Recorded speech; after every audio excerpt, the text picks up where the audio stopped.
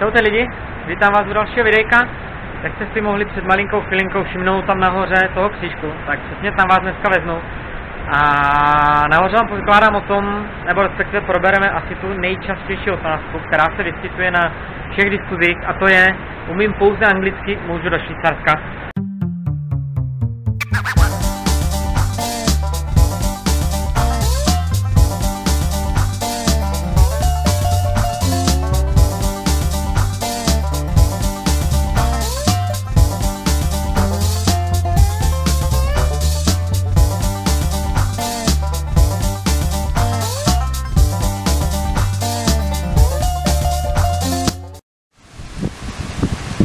Takže už jsme tady nahoře a když vydržíte až do konce videa, tak bych vám potom na konci videa ukázal nějaké záběry tady z té horní vyhlídky.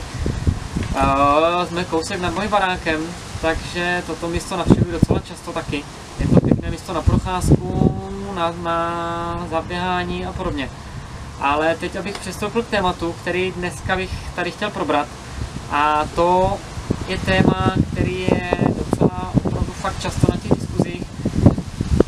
a já osobně si myslím, že spoustu lidí dostane vždy špatnou odpověď na tuto otázku. A abych tu otázku rozvedl do takových dvou částí. A to první, že většina lidí tvrdí, neumíš německy, nejezdí do Švýcarska. Ta první část té mojí otázky nebo toho mého rozhovoru je o tom, že i když umíš německy, neznamená to, že se tady domluvíš ve Švýcarsku. A jako příklad bych uvedl mou zkušenost, nebo respektive místo, kde bydlím já. A to je kanton Wallis.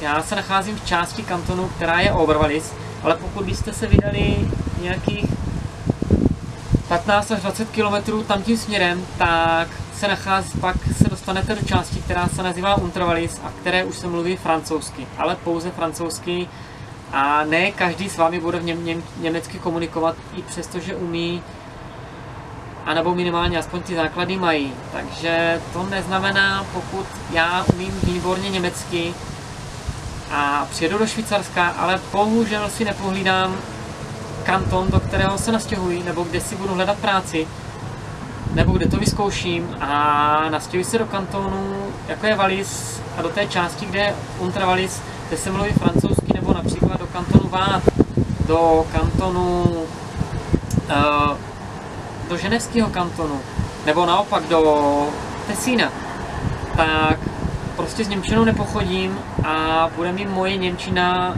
absolutně k ničemu, protože to jsou kantony, kde se mluví francouzsky. A člověk musí mít štěstí, aby se tam uchytil právě s tou Němčinou. Takže když vám někdo řekne, bez Němčiny do Švýcarska nejezdí, pokud už německý přijeď, neznamená to to, se tady domluvíte, musíte si dát opravdu pozor na to, kam jedete, pečlivě si to nastudovat, kde se mluví německý, kde se mluví francouzský, naopak, kde se mluví italský, když italský je jeden kanton Tessin. A potom jako čtvrtý oficiální jazyk tu máme ještě retoromanštinu, ale o té se asi vůbec bavit nebudem, protože já osobně jsem ještě neslyšel a ani jsem se s ní nesetkal a popravdě ani nevím, v kterých kantonech se s ním mluví, nebo respektive v kterých částích Švýcarska.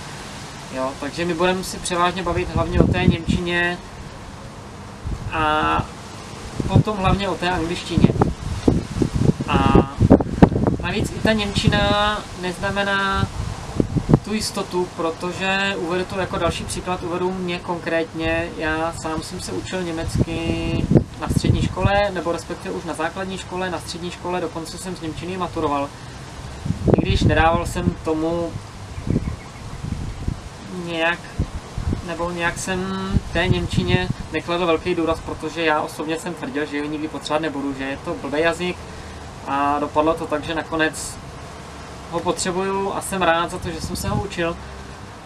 Ale i přesto, že jsem se učil právě tady celou dobu ve škole, přijel jsem do Švýcarska a konkrétně tady do toho Valisu, kde mají takový speciální dialekt. Mm, ne, že by mě byla k ničemu, ale nebylo to úplně ono a spoustu slovíček, spoustu frází, spoustu věcí řeknou jinak. A tady ta Hochdeutsch, jak říkáme tady, tak je, není úplně až tak praktická a člověk se musí trochu přizpůsobit tomu kantonu. Takže i s dobrou Hochdeutsch, s dobrou Němčinou spisovnou nemáte tu jistotu, že budete perfektně rozumět. Takže vždycky si dávejte prostě hlavně pozor na to, do kterého kantonu chcete odcestovat, v kterém kantonu chcete hledat práci, abyste se pak po příjezdu do Švýcarska nemuseli stěhovat nebo naopak začít učit francouzštinu například.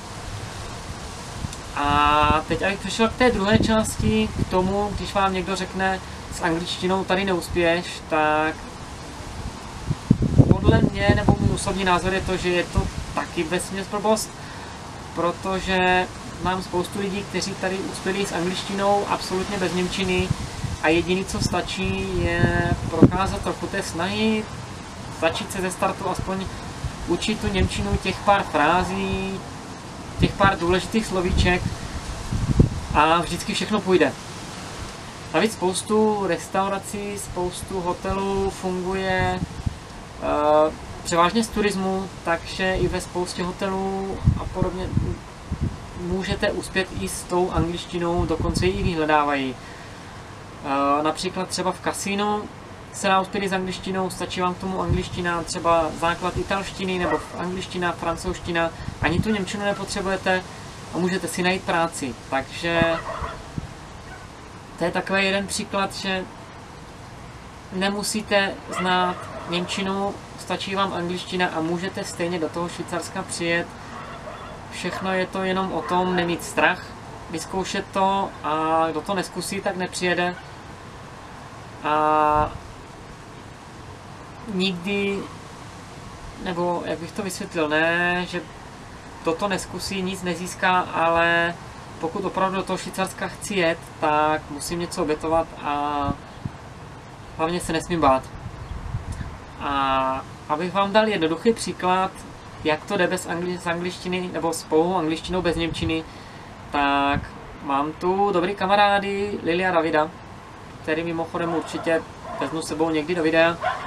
A mohli bychom někdy s nimi udělat rozhovor o tom, jak tady oni začínali, právě jak to měli s tím jazykem, jak to bylo bez té Němčiny, protože oba dva uměli pouze anglicky, dostali se sem přes známýho a začali dělat restauraci, naučili se základní fráze německy a jelikož tady ten hotel, nebo respektive tu restauraci vlastnil Chorvat a oni trochu tu chorvačtinu bylo pro ně jednodušší se naučit, tak později časem s ním komunikovali pouze chorvatsky a po nějaké té době se oba dva naučili tu Němčinu a po té době už je to nějakých pár let, jsou tu dva, možná tři roky tuším.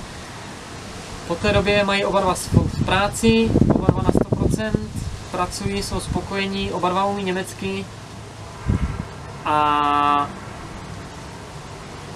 nebyla jim ve ta Němčina vůbec potřeba při tom startu, i s tou angličtinou se právě dokázali tady prosadit. A všechno zvládli, bylo to prostě jenom o tom snažit se, mít tu snahu a ukázat, že se chci zdokonalit v Němčině. A už jenom kvůli tomu, že vám to pomůže se tady integrovat, pomůže vám se to začlenit a vlastně pokud tady člověk chce bydlet a žít, tak je potřeba se tu Němčinu naučit. Jo, takže abych vám tak nějak za, na závěr shrnul to, o co mi vlastně v tom videu šlo, tak pokud máte v hlavě otázku, můžu do Švýcarska pouze s angličtinou, tak neváhejte a přijďte. A nemusíte, nemusíte se toho bát. Z vlastní zkušenosti můžu doporučit, určitě mějte tu snahu, zkuste se nějakých těch pár frází naučit, než se moc cestujete ale není to to podstatný i s tou angličtinou. Jo, takže nějaké ty názory na diskuzích typu bez Němčiny ani ránu nejsou úplně až tak pravdivé.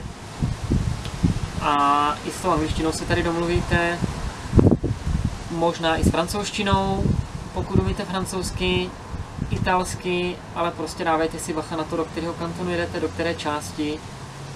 A časem určitě tomu přijdete na kloub, i té Němčině, tomu všemu a stojí to za to. A teď, ti, kteří vydrželi až teď do konce, se můžou teď na závěr pokuchat teda těmi záběry tady z hora. Ukážu vám, kde bydlím, jak to tady vypadá a zároveň bych vám chtěl poděkovat, že jste vydrželi až do konce. Pokud se vám video líbilo, dejte like, subscribe, nebo můžete navštívit můj Instagramový kanál. Odr. Už tady mluvím německy. Můžete navštívit můj Instagramový účet, který je dole v popisku. A já se na vás budu těšit do dalších videí. Tak se zatím mějte a příští týden. Čus.